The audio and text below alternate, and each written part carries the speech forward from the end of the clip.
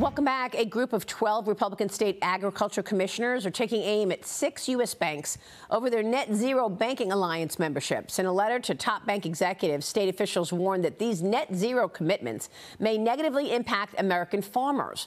Meanwhile, New Hampshire GOP legislators are proposing a bill that would make environment, social, and governance, or ESG, investment of state funds a felony with imprisonment of 20 years. Joining me right now is the CEO of Strive Asset Management. He is also the CIO, Matt Cole is here. Strive is offering new 401k retirement plans for medium and small businesses, focusing on prioritizing shareholder profits. Matt, great to see you.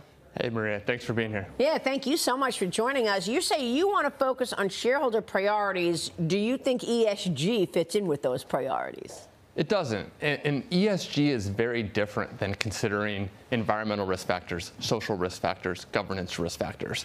What it is is actually pushing a politicized social agenda into corporations.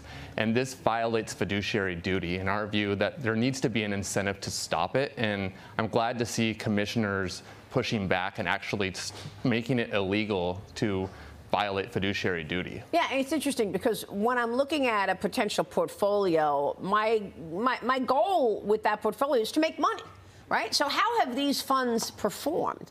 I mean, just on the old performance basis, how does ESG do? It underperforms. It's yeah. a constraint on a portfolio. So anytime you put a constraint on a portfolio, you're either going to do the same or worse as without the constraint. What's really troubling to me is when you see ESG implemented in index funds, where someone doesn't actually even want or know that they're buying an ESG fund, but asset managers push an ESG agenda, a stakeholder capitalism agenda, into corporations at the expense of the actual shareholder. Yeah. At the end of the day, your investment should be working for you, not against you. And ESG actually makes them work against you in multiple ways. And, and companies are seeing this, investors are seeing this. ExxonMobil is filing a lawsuit against activist investors Arjuna Capital and Follow This over their shareholder proposals to further curb the company's greenhouse gas emission and target customers' emissions. I mean, ExxonMobil has been in this fight for a long time, and it's actually changed its business as a result of that. But I want to get your take on the products that Strive uh, comes up with and, and, and offers to, to address this issue? Yeah. Strive is about shareholders first, period. And obviously, Exxon has been at the absolute center of this ESG fight. They had three climate activists put on their board against Exxon's recommendation. In 2022, Exxon fought back. We actually engaged with Exxon, and that's one of the things that we do at Strive is we engage for corporations to put the shareholders first. Exxon agrees with us. They put two new shareholders to counteract the climate activists back on their board in 2022.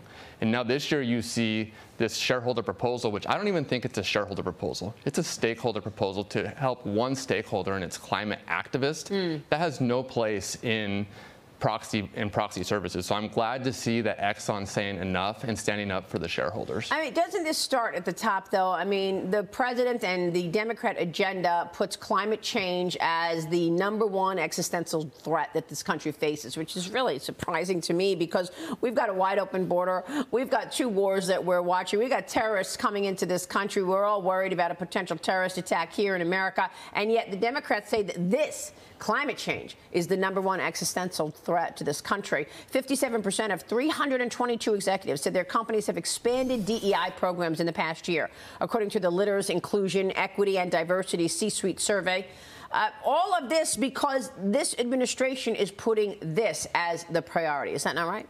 It's absolutely right. And, and this goes back to day one of the Biden presidency.